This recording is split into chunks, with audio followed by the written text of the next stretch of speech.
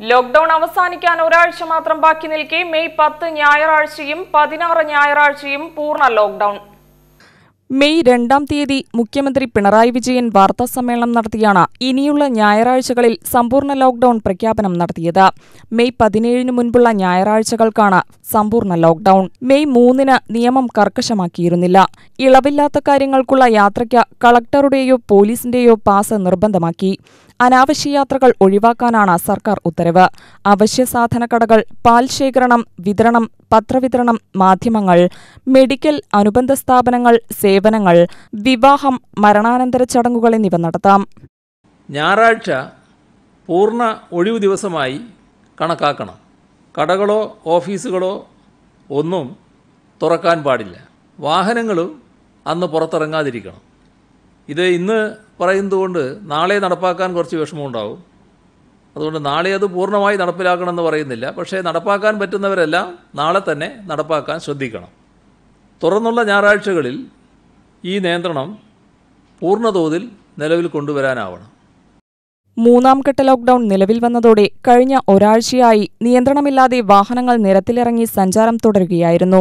പോലീസുകാരുടെ സേവനം നാമമാത്രമാവുകയും ചെയ്തു.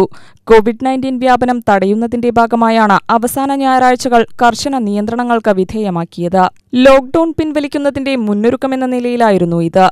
ലോക്ഡൌൺ പിൻവലിച്ചാലും നിയന്ത്രണങ്ങൾ തുടരാനാണ് സാധ്യത. മാസ്കുകൾ നിർബന്ധമായും ധരിക്കണം. സാമൂഹിക അകലം പാലിക്കൽ ശീലമാക്കണം. സർക്കാരിന്റെ മറ്റ് എല്ലാ നിർദ്ദേശങ്ങളും ഏതാനും മാസം ഇനിയും പാലിക്കേണ്ടതായി വരും. ലോക്ഡൌൺ നിയന്ത്രണം നീക്കിയ ഉടൻ സ്വകാര്യ ബസ്സുകൾ നിരത്തിലിറങ്ങിയാൽ സാമൂഹികാകലം പാലിക്കാൻ കഴിയാത്ത അവസ്ഥയുണ്ടാവും. ഇതിനെ മറികടക്കാൻ എല്ലാവരും പ്രത്യേകം ശ്രദ്ധിക്കേണ്ടതുണ്ട്. ഇന്നത്തെ ഞായറാഴ്ച ഹർത്താൽ പോലെയാണ് കടന്നുപോയത്. അനാവശ്യ യാത്രകളിൽ പലരും ശ്രദ്ധ കേന്ദ്രീകരിച്ചു. ലോക്ഡൌൺ പിൻവലിച്ച ശേഷം വിദേശമദ്യ ഔട്ട്ലെറ്റുകൾ തുറന്നാൽ ഇതുവരെയുണ്ടാക്കിയെടുത്ത ഗുണഫലങ്ങൾ ഇല്ലാതാവുക തന്നെ ചെയ്യും. ആർത്തിയോടെ കാത്തിരിക്കുന്നവർ തന്നെയാണ് ഇതിന് കാരണം. സർക്കാരിന്റെ ഖജനാവ് നിറയ്ക്കാൻ മാത്രം തുറക്കുന്ന വിദേശമദ്യ ഔട്ട്ലെറ്റുകൾക്ക് മുന്നിൽ പോലീസ് ആരോഗ്യവകുപ്പ് ഉദ്യോഗസ്ഥർ എന്നിവരെ നിയമിക്കേണ്ടി വരും. കുടിക്കാനും കുടിപ്പിക്കാനും സർക്കാരിന്റെ കരുതൽ കൂടിയുണ്ടാവും എന്നതായിരിക്കും ആശ്വാസകരം. സമ്പൂർണ ലോക്ഡൌൺ ദിനത്തിൽ അതിർത്തികളിലെ പരിശോധനയും കർശനമായിരുന്നു. ആരോഗ്യം police revenue fire and rescue വിഭാഗങ്ങളിലെ ജീവനക്കാരെല്ലാം കർശന നിയന്ത്രണങ്ങൾ പാലിക്കേണ്ട ഞായറാഴ്ച ദിനത്തിൽ അതിർത്തിയിൽ സജീവമായിരുന്നു.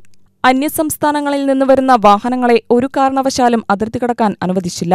അവശ്യ സർവീസ് വാഹനങ്ങൾക്ക് മാത്രമാണ് അനുമതി നൽകിയത്. അതും ഫയർ ആൻഡ് റെസ്ക്യൂ വിഭാഗത്തിന്റെ നേതൃത്വത്തിൽ വാഹനങ്ങൾ അണുവിമുക്തമാക്കിയതിനു ശേഷമാണ് കടത്തിവിട്ടത്. അവശ്യ സർവീസ് നടത്തുന്നവരെ വിശദമായി പരിശോധിച്ച് രോഗലക്ഷണങ്ങളില്ലെന്ന് ഉറപ്പുവരുത്തുന്നുണ്ട് ഗോവിന്ദാപുരം ചെക്ക് പോസ്റ്റിൽ സമ്പൂർണ ലോക്ഡൌൺ ദിനത്തിൽ വ്യാപക പരിശോധന നടന്നു. Cameraman Anoop V. പുല്ലമ്പാടത്തോടൊപ്പം ന്യൂസ് ഡെസ്കിൽ നിന്നും Rajendran Kallepully U T V news.